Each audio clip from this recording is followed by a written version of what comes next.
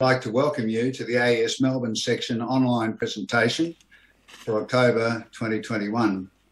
For those of you who don't know me, I'm Graham Huon and I'm presently the chair for this Melbourne section.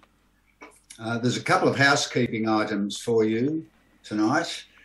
For the Zoom session, can you please keep your microphone muted unless welcoming the presenter and giving a round of applause to Joe in a minute, or when asked to comment or speak. This helps with the background noise levels, as we've already heard. Also, if you can enable your chat sidebar, that's at the bottom of your screen, you can use that to prompt and ask a question. So type in your questions and send them, and then we can make sure that we answer them at the end of the appropriate time. Okay, well, tonight's session is entitled From Stradivarius to Speak at the Technology for Improvements in Sound Delivery and Room Acoustics Treatment. Unusual to hear those two things in the same sentence. We're all familiar with a well designed concert hall having clarity of performance with a balanced, enveloping sound field and without hard echoes. We seek to capture this in our recording and in our listening experiences, but we must often put up with less than ideal acoustic environments at both ends. What if both clear delivery and the enveloping experience could be recreated directly from the loudspeaker without the need for a well designed concert hall or listening environment? Would that be useful? Tonight, musician and inventor Joe Hayes, where is he? He's here somewhere. There he is, yes.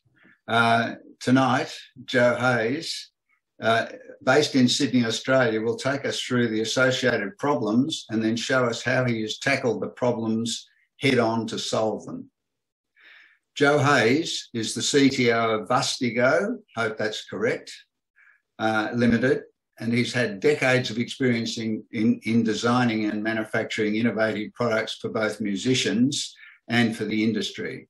These include the PASAC MIDI Sentient 60, uh, Sentient 6 Unity 8 mixer and EC1 equalizer preamps. He has teamed with Larry Fishman and Martin Guitars, amongst others, for the world market. If there is interested in the group, a future live demonstration of the technology will be arranged when we're able to enjoy face-to-face meetings again, because demonstrating these technologies does need you to directly listen. In the meantime, please join us to hear about Joe's new developments in loudspeaker design. Would you please unmute and give Joe a hearty welcome? Thank you, Joe. And uh, you can mute again, please. Thank you, Graham. Um, I'll just start my presentation and share the screen. Please bear with me while I work out how to share my no, That's okay. It's no problem.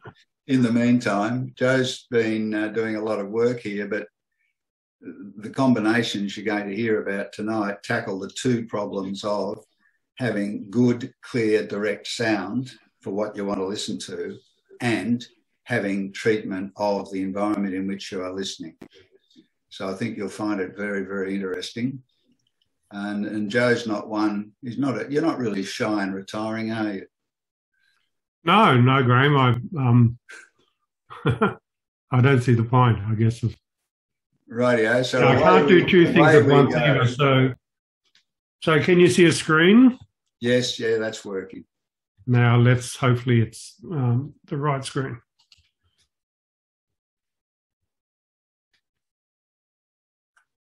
Yes, we've now got, yep, that's it. That's okay. It. Thanks. Thank you.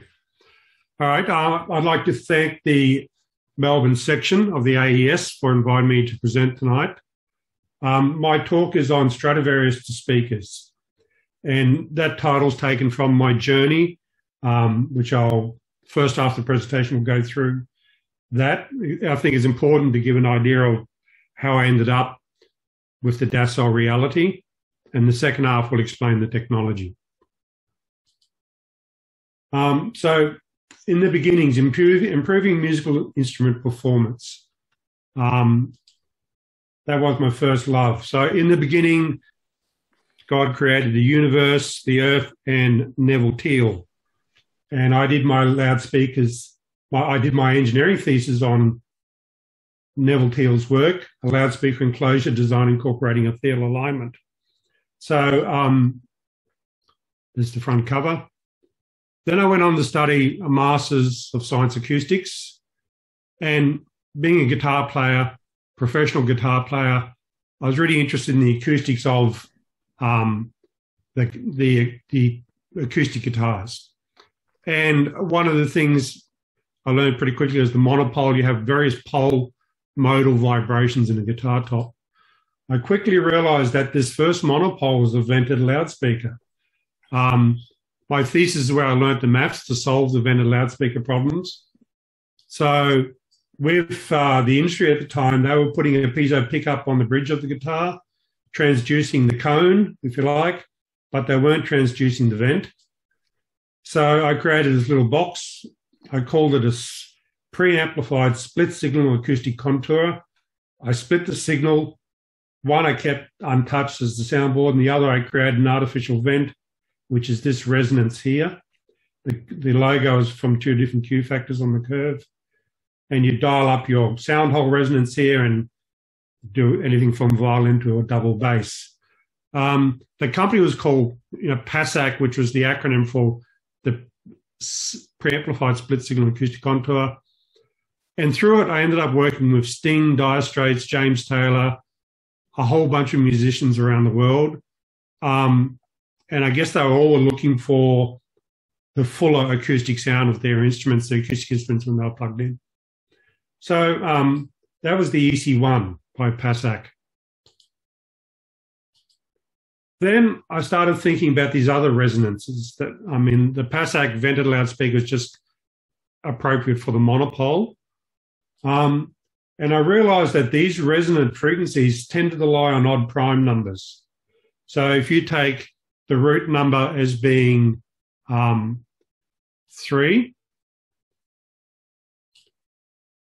because uh, one is not a odd prime.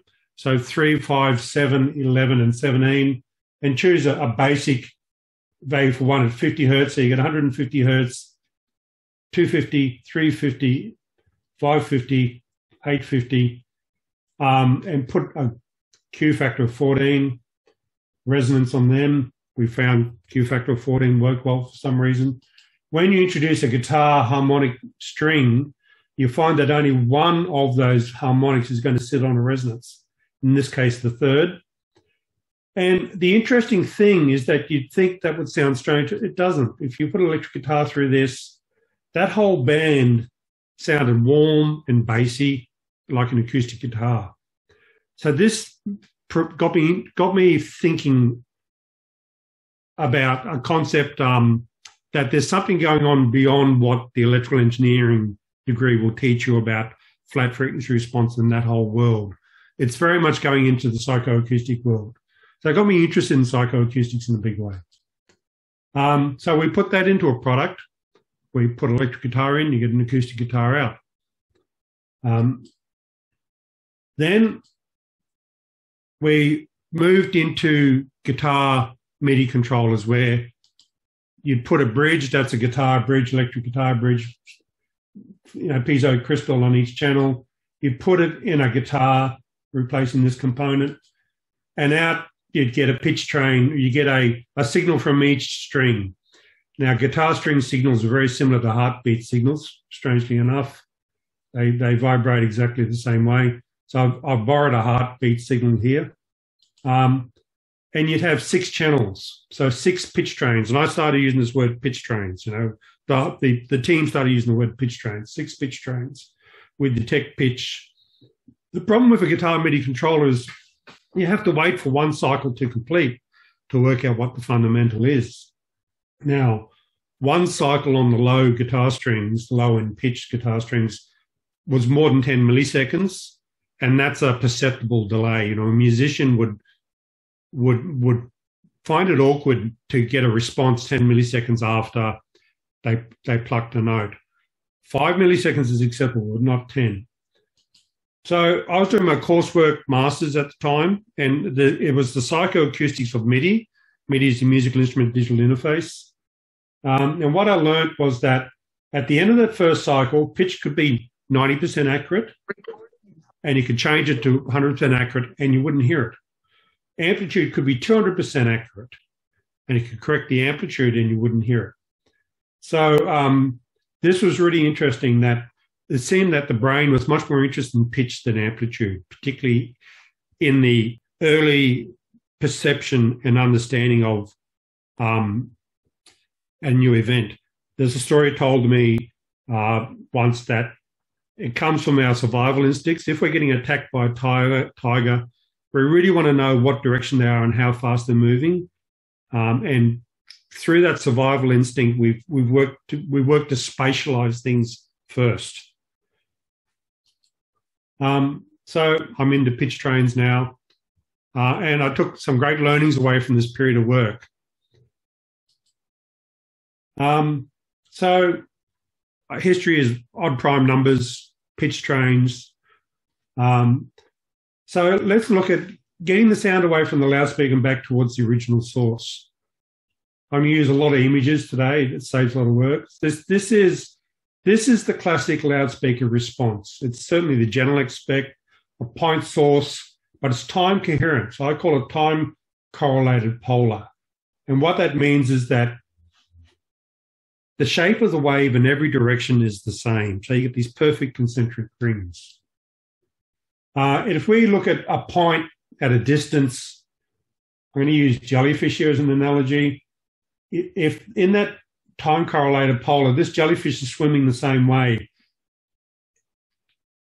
all of its surround is moving in unison. At the same time, it, it has that swimming motion. So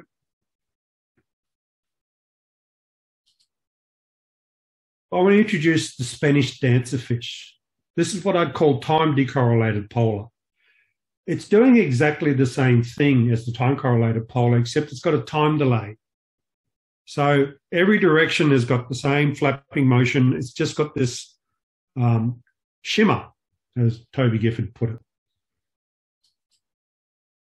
Okay, so let's do a bit of psychoacoustics.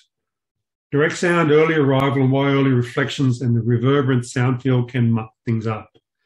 So, pitch is king. I've learned now that pitch is king. I still really don't know what amplitude is, to be perfectly honest. But DaS AuReality sounds incredibly loud, given its technical level of input. Um, so, this is a really important psychoacoustic test. It's done in the 50s they had a noise source and they put it through a volume control and a bandwidth control through headphones to listeners. They got a large sample, you know, big enough to make the results meaningful. And they said, look, we're going to ask you to, to open up the bandwidth and adjust the volume to compensate. And what they expected was this like you increase bandwidth, the volume would increase as well. Well, that didn't happen. What happened was this you opened up the bandwidth and they didn't touch the volume control. Kept opening up the bandwidth, they didn't touch the volume control. Then suddenly it hit a particular bandwidth and the volume just took off. This is called a critical band or a Zwicker band. The work was done by Edmund Zwicker. And it turns out that there are 32 critical bands or Zwicker bands from the basilar membrane into the brain in the neural system. And each band is defined by this critical bandwidth the idea is that energy goes beyond the, the critical band, then it starts energizing another critical band, which is why it gets louder. And it also means that one pure hum, harmonic in a critical band is just as loud as the whole band being full of energy, which is interesting. That's probably why the guitar resonance, the active resonance system worked. Okay, so we have 32 pitch trains coming from the basilar membrane into the brain. I, I know about pitch trains. So um,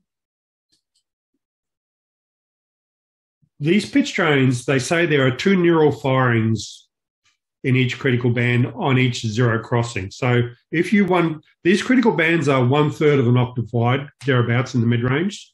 And if you get noise and filter it by one third of an octave and have a look at it on an oscilloscope, it'll look sinusoidal with a bit of a wobble about it. So filtering broadband into that narrow band gives you a fairly predictive um, pitch train coming out of that band. So the effect of an early specular reflection in a room is it's going to interrupt the pitch train. It's going to cause that neural firing not to come at the expected time. It's going to suddenly jump to a whole new phase position. When when you add two sinusoids together, they end up you know, resulting in a sinusoid, but at a different time base or a different phase. So suddenly there's this abruption in the pitch band, and, and what the psychoacousticians, um, psychoacousticians say was that they call that spectral splatter. So the whole 32 bands of the ear suddenly get energized with a pitch anomaly, a great mechanism for detecting the arrival of a first reflection in a room. The timing is going to give you dimensional data about the room. Um, I believe now, I understand now, there's a lot more stuff going on, but it's a great simple mechanism as to why first reflections are really bad in a listening room. If you're recording something, those reflections are really important. You know, you could be recording in a room for effect. But when you play it back, you certainly don't want to introduce a second set of pitch anomalies coming from the listening room. So early specular room reflections totally interrupt the pitch trains between the inner ear, the basilar membrane, and the mind. And these are the terms I used as I was going learning the stuff. The mind. Then I just called it the upstairs department because I learned that you know flat response doesn't really mean anything when it comes to a musical instrument, um, and it does in reproduction, but not when you're creating a sound and qualities of sound are all worked out by this upstairs department. And what I now realize is the reality perception system. If you can get this right, it'll it's it sounds just like reality sounds. Therefore, these interruptions from the listening room need to be managed somehow.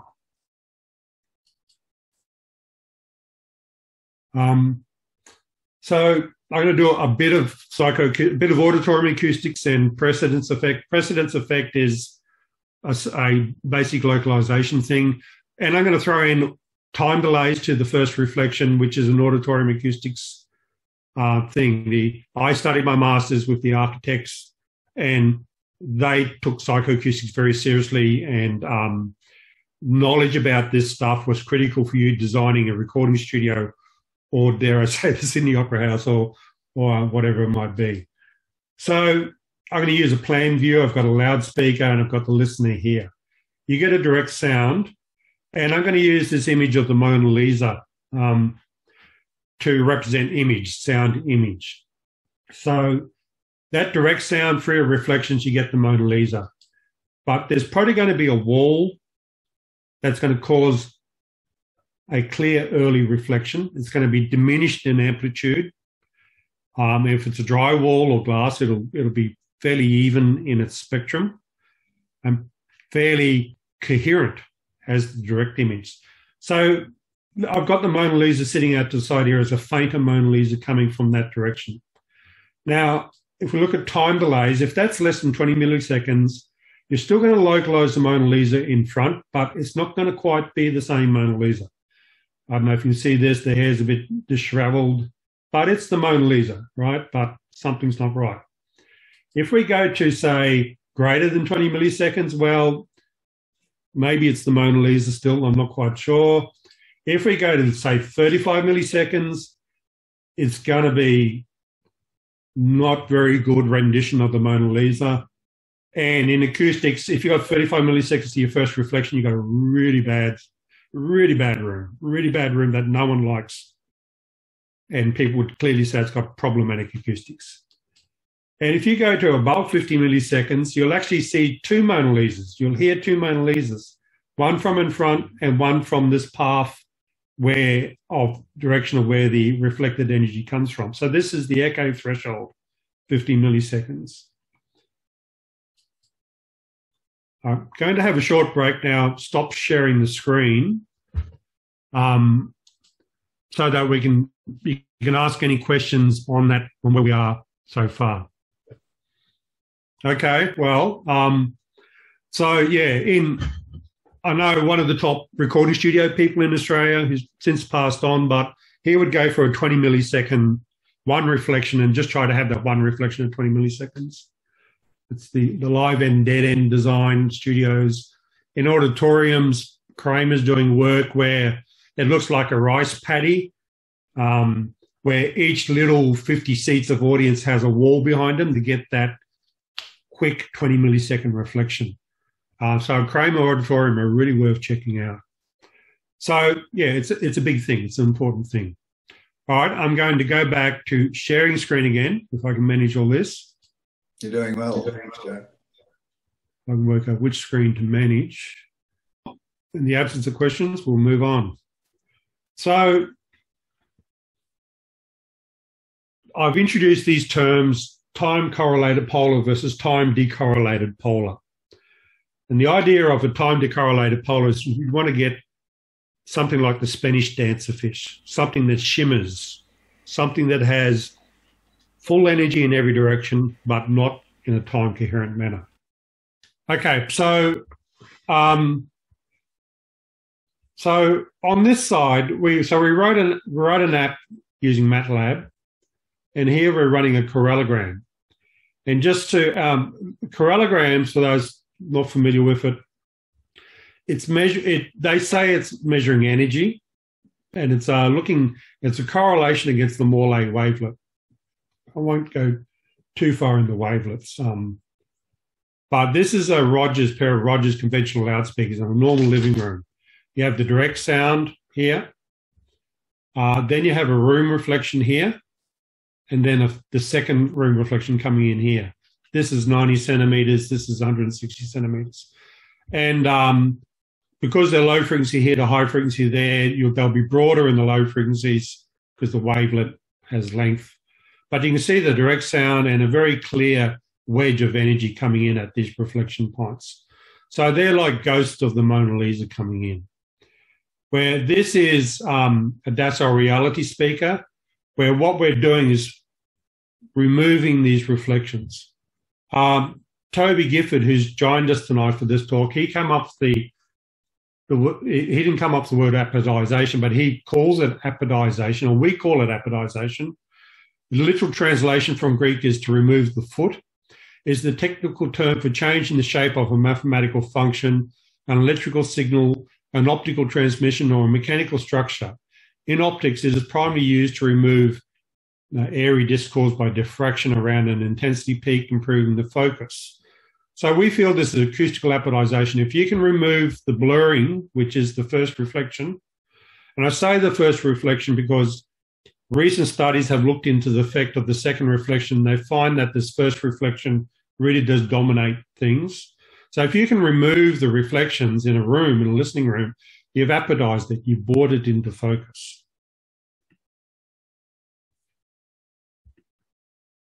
So um, it's a of the impulse response, and you can see the clear reflections in the conventional speaker. And to go back to the Mona Lisa analogies, you know, we've got the clear focus Mona Lisa here, and we've got a Mona Lisa that a lot of people would pass off as the original Mona Lisa, wouldn't know the difference really. And I say that because this is a three millisecond reflection. It's not a not even a 20 millisecond reflection, but it has some effect. So this image is taken from our um, Voice Coil article. Came out in the 2021 September issue, so you can get to it through Voice Coil. Uh, it has the um, an intro. Sorry, we're in here somewhere.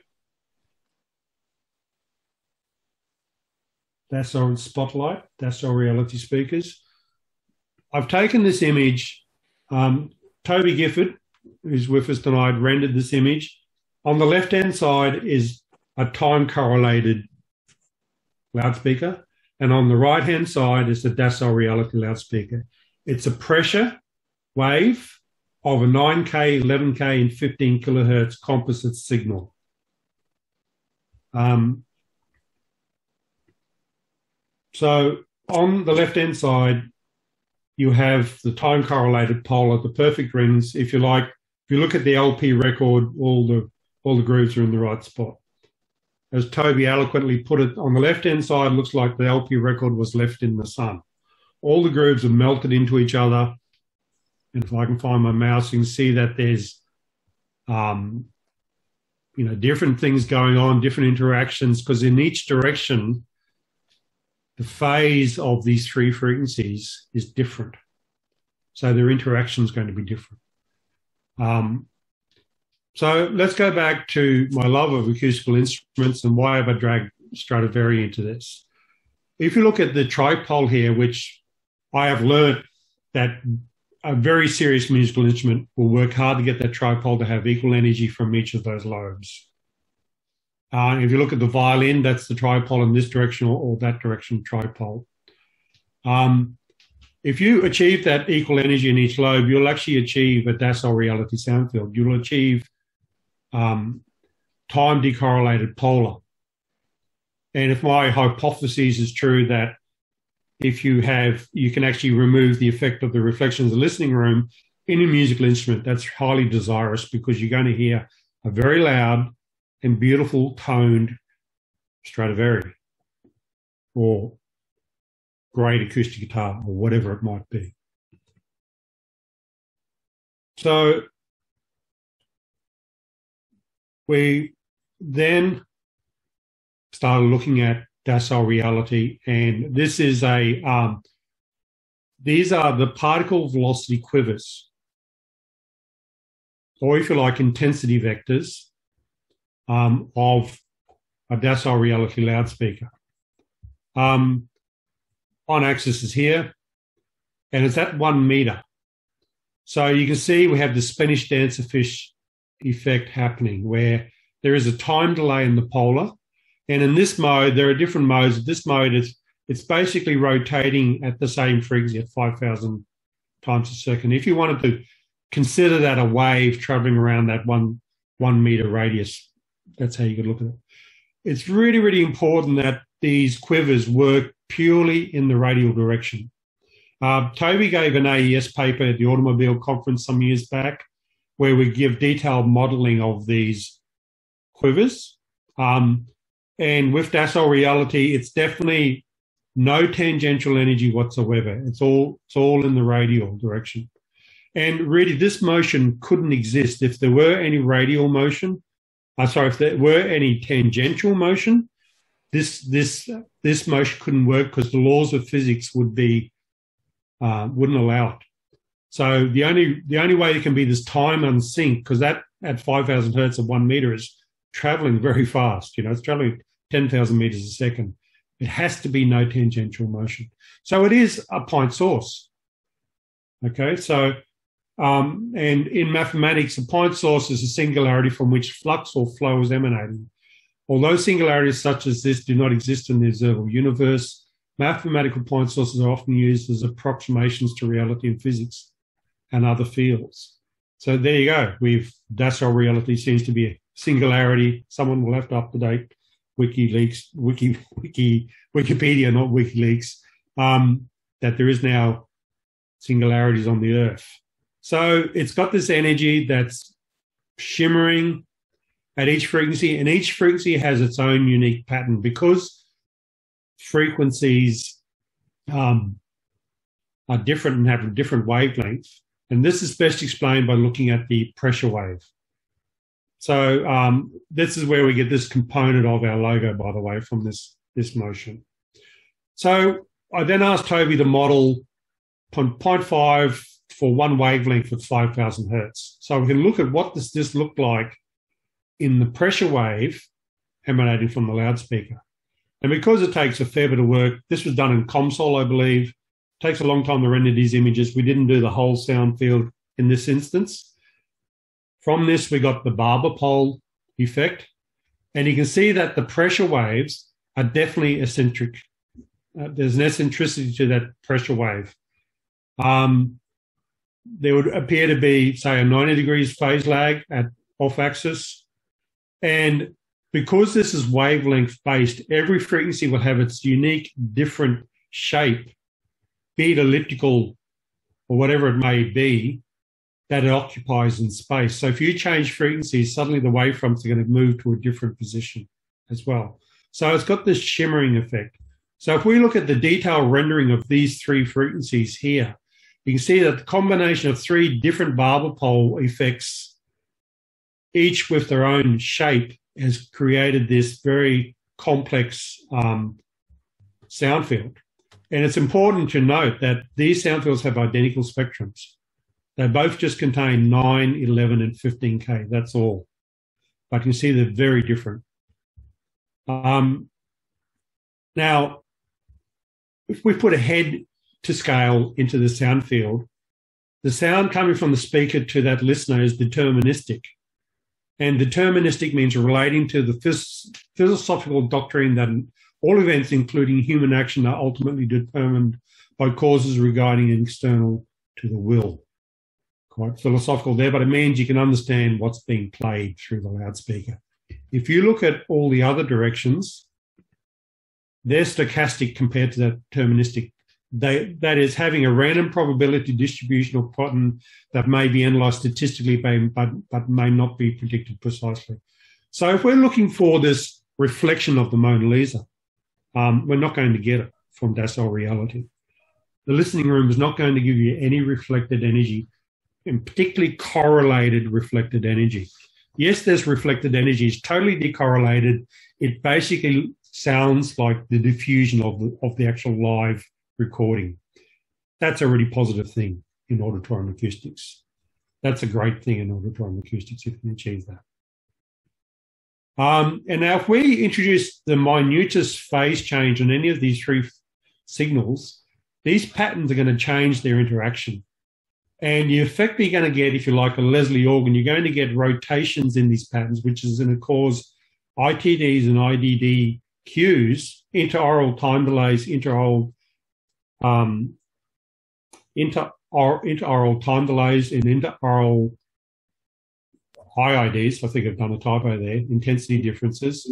In, are used for spatial. Yeah, are used for spatial cueing. It's how we hear spatial cues. These early reflections. Energy coming from a different direction is going to have a shadow from your skull, and you're going to get different intensities and time delays from these reflections. So any echoes in the recording and it to cause this sound field to rotate. Great. We've just created a sound field where um, the, the, it's time decorrelated polar, so the listening room doesn't matter.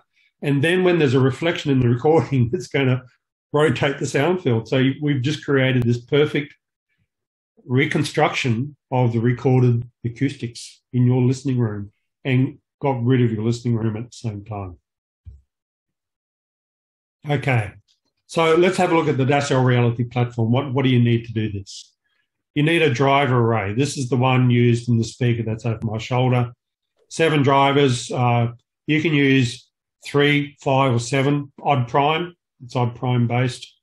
Um, that's a seven array, but we're only using five at the moment. I think five arrays, um, the sound we're getting is great, would be a good economical solution for um, loudspeaker manufacturers. It's arguably lower cost than what they're paying for a tweeter at the moment. Um, we need multi-channel amplification in the uh, in this table. We have, if we choose an odd prime of seven, we need four channels of amp. If we use five, we only need three channels of amp. But and the bandwidth of this diffusion is 13 or 9. So they're both great bandwidths. So you can do 1 to 10K or 2 to 20K with either of them. So it's great for a tweeter, but you're into multi channel amps.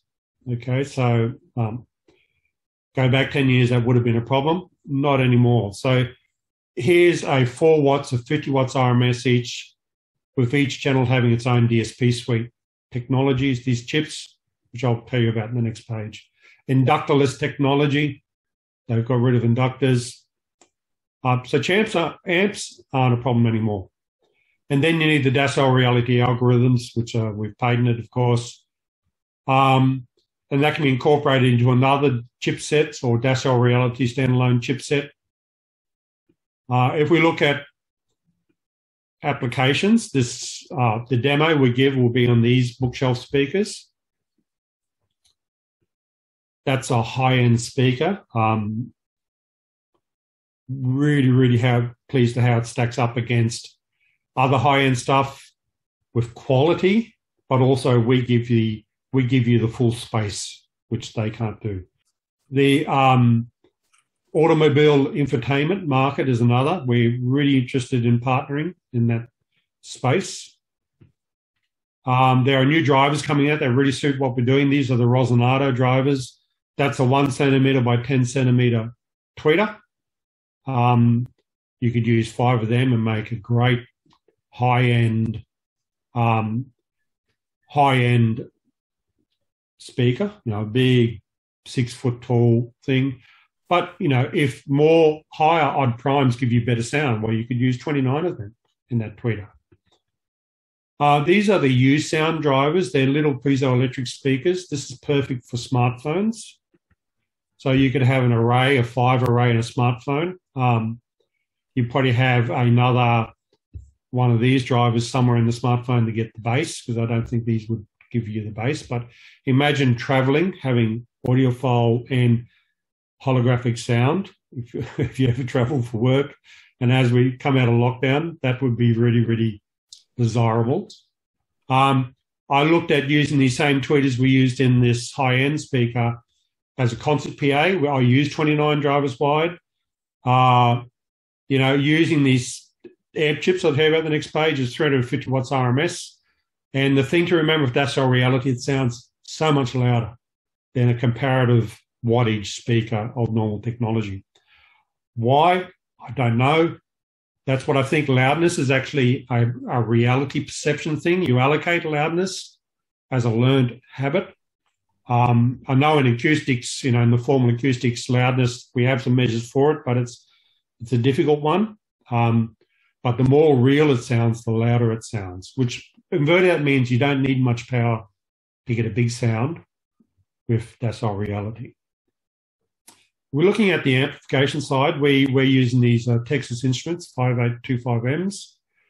They're great. They're uh, run from 5 to 25 volts, perfect for cars, marine, uh, great for our high end speakers are using a power adapter, 24 volt power adapter at 180 watts, I think it is. Very good for a regulatory because it then becomes a low voltage directive thing, extra low voltage directive, makes it really easily in the regulatory space, um, which can be a big issue um, when you go to international sales. Then you can even, this is a, um, a Maxim. It's a, a 98357A or 357B. Tiny little thing, 3 watts RMS with an I2S input, and you control the game by shorting out the center pin to one of these other pins. So between that and these tiny drivers, you've got your smartphone solutions or your pill speaker solutions. Um, the DaS AuReality algorithms be on a chipset, which feed the I2S signals to here. And the good thing about these Texas chips is we can fit our DaS AuReality algorithm in on board the chips. So um, they're a great, great solution between the micro speakers available now in these chips.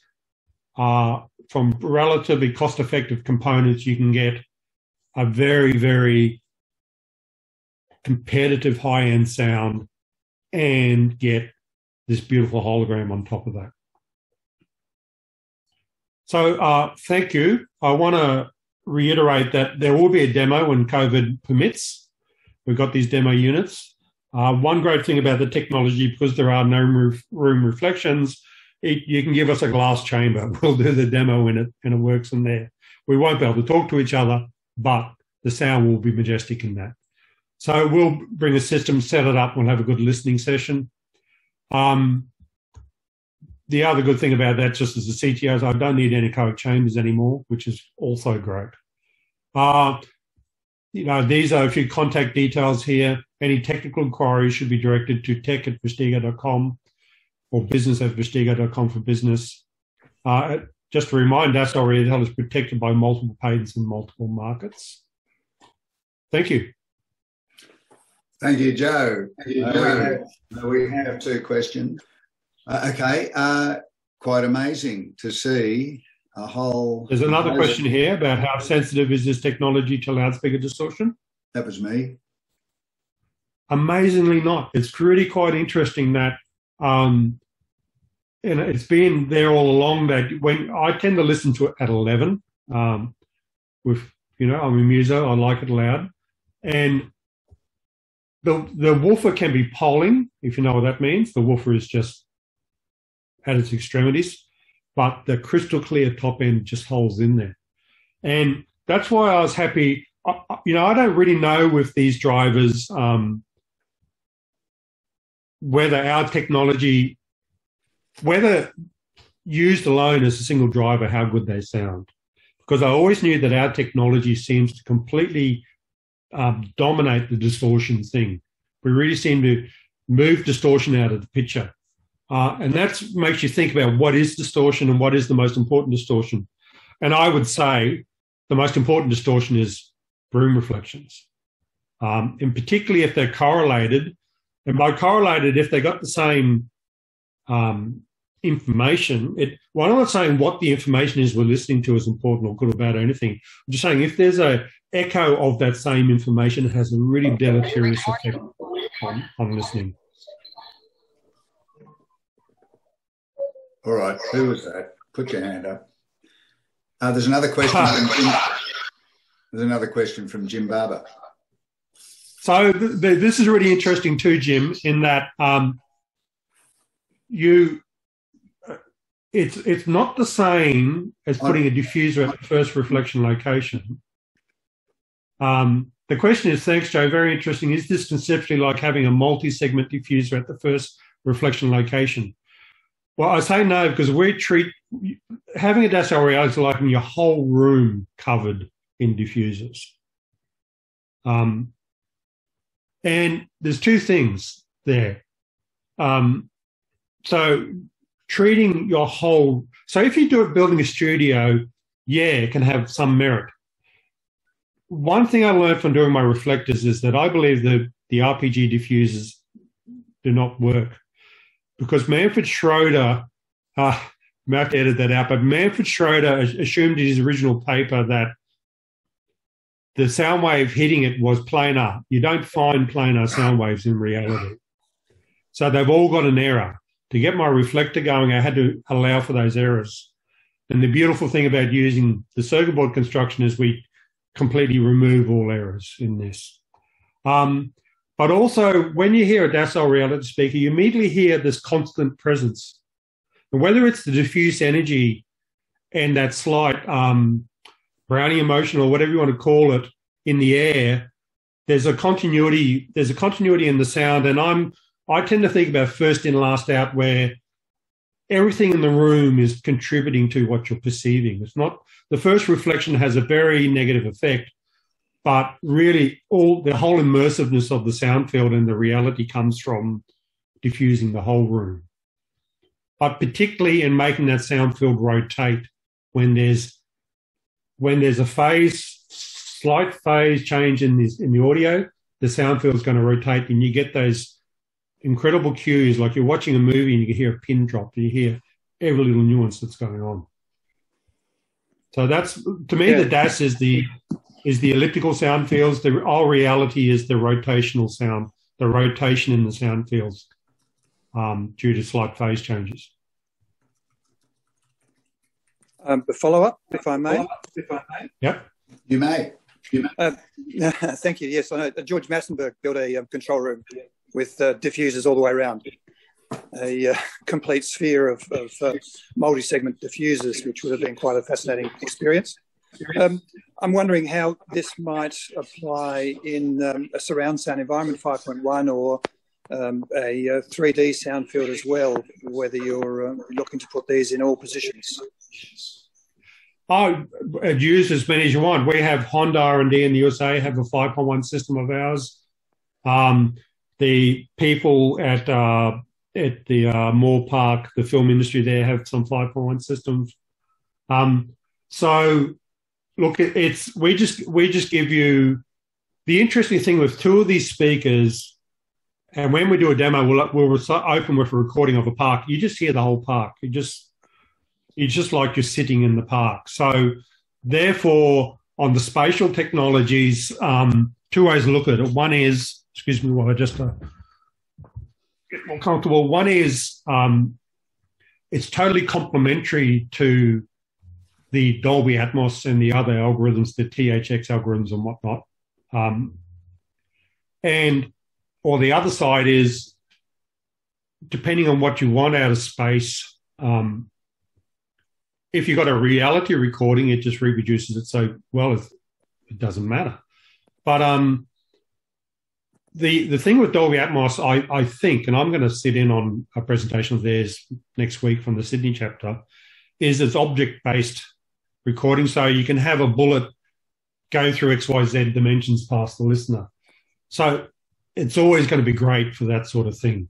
You know, the best sound I get through these speakers is a binaural recording, which is meant to be a headphone sound. And one way to describe the sound is like wearing headphones, a headphone sound, but in the room. And that is what you'd expect from not having that first reflection or any reflections. So um, uh, I personally don't like sound inside my head. You know, I know that the Singaporeese company Creative have done something where the sound presents just in front of your head. Um, I like to have the sound out there in the room, and I think this would be great for the virtual reality headsets on gaming in particular, where we thought I've thought this through. If you turn your head in a virtual reality scene, you don't want the sound field to rotate. You want it to stay where it is. You just want the visuals to rotate. That would be close so head, to reality. Head, yeah. yeah. So um, yeah, and uh, the but you know what I what I I'm just so busy listening to Chicago blues, 50s and 60s, or lead belly or anything. It's as a musician, their presence is uncanny, and as I just want to pick up a guitar and start playing along with them. It has that effect, which is really interesting. Uh, is there any impact on the um, sweet spot on the uh, typical triangle? Sweet spot everywhere. It it is. So we do measure a Gabor wavelet, and Dennis Gabor was the inventor of holography, and everyone's got holographic sound, right? Everyone's claimed it, so there's no point saying it anymore. But we're actually measuring Gabor wavelets. Uh, we, we, it's just like having this hologram, and if you've got a hologram, you don't have to sit there. You want to walk around through it um, you know, and, and, from different angles. If it's a band, it's you're at a pub, you don't go stand halfway between the speakers at a band. Or if you're playing a great Stradivari, everywhere sounds great. So uh, it has that effect. Um, putting your head directly between the speakers is this incredible thing where you really do get the effect like you've just stepped into that room. Um, but there's a lot about this we're still learning. You know, I'm going to need a lot of academics to come in and participate in this because the most interesting for me, for someone who's studied the psychoacoustics of MIDI and, and therefore psychoacoustics, is to have a coherent reflection is the is the bad thing, right? Um, so, and irrespective of what you're listening to, that coherent reflection is the most dominant thing in perception. Beyond whether the thing you're listening to, it's much more powerful than whether the thing you're listening to is good or bad. And if you're making a musical instrument, you want to create a good sound. And then when you want to reproduce a sound through a sound system, you don't want to add any more contaminants whatsoever to that. But building musical instruments is very different from building sound systems, sound reproduction systems. However, I think I, hopefully I've shown the, the, bond between Stradivari and sound system. I would suggest to the people build, trying to build Stradivari's um, start using correlograms on a MATLAB and see if your instrument is putting out a time decorrelated sound field. And I think, I think maybe some academics will pursue that now and they'll find that the Stradivari has a very decorrelated sound field. And Joe, that's why it I, I, if I can make some comments uh, that might help Jim, I don't know. Normally, you'd say, well, we want the sound to radiate out into an ideal diffusing room. Um, what you've done is achieve that at the speaker without needing to get to the room. Then, if that sound hits a hard surface reflection, it doesn't correlate it, it stays decorrelated. So that the boundaries of the room start to disappear on your sonic influence. Does that help? I think Joe went to sleep. No, no, uh, that's certainly, I agree with that totally, yeah that um, may help because he's he's doing the what I call decorrelation at the source. The, the important the, the magic here is that your head, you know, if you take the stereo standard 17 centimeters apart, two microphones or whatever it might be, your head is is one degree or two or three degrees in the 360 degree polar. So there isn't there isn't that much difference. There isn't any decorrelation happening in that narrow band. but compared to every other part of the circle, it is different. So there is no way you can get a reflected path with the same information.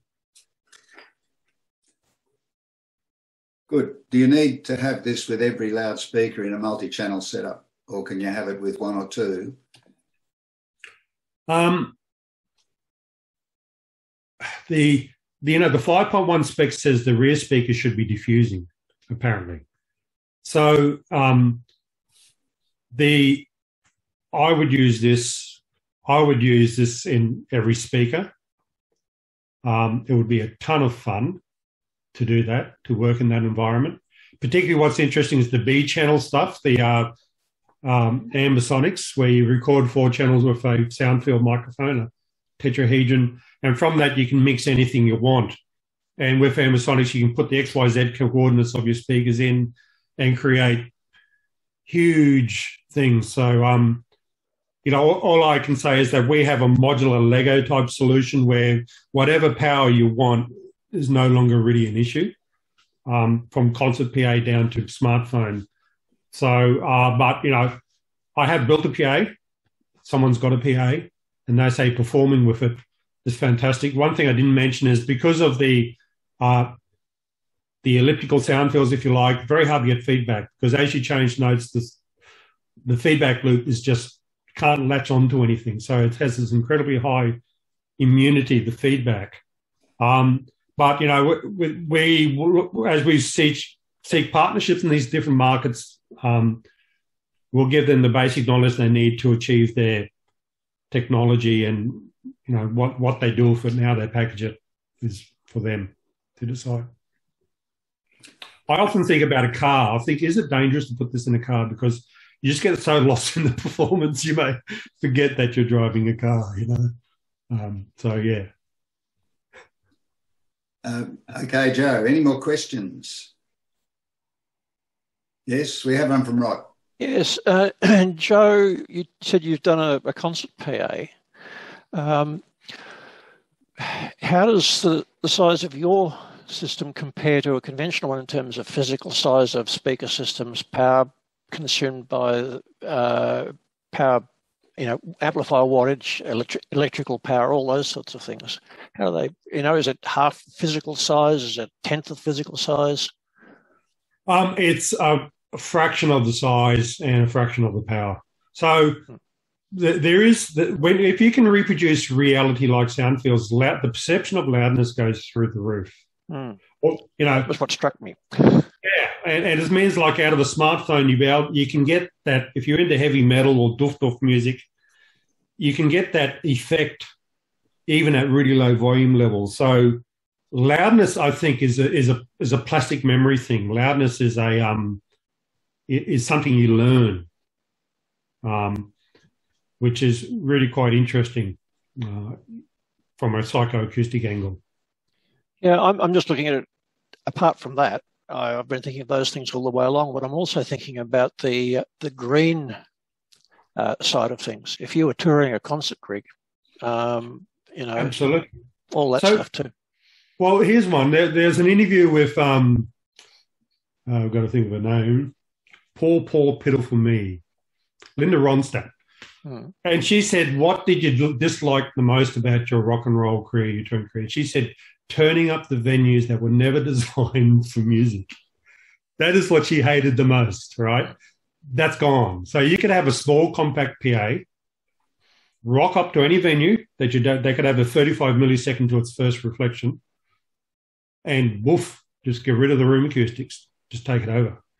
Um, I personally don't go to many live gigs because I'm so disappointed in the sound. Hmm. Um, because particularly of the, of the venue acoustics, and the other part of that is the LEQ 90. You're only allowed to listen to 90 dB for eight hours a day law.